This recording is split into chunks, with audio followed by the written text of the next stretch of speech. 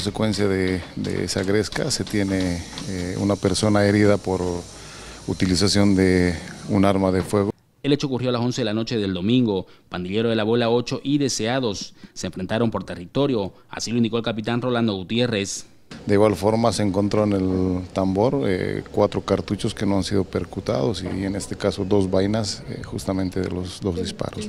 El fiscal Carlos Candia informó que hay una persona que resultó herida con disparo de arma de fuego.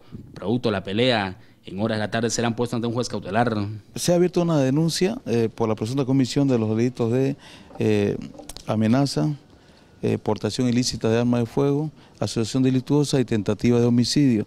Familiares de los aprendidos aseguran que es injusta la prisión. Oscar Ramiro Maldonado Sánchez, Kevin Durán Quiroga y Álvaro Arce Pantoja, mayores de edad. El resto de los seis son menores de edad. Estaba, él saliendo a pasear, estaba, pues, estaba saliendo a pasear y como estaba por ahí, pasando por ahí donde estaba el enfrentamiento ese, y que ya pues ya lo agarraron a él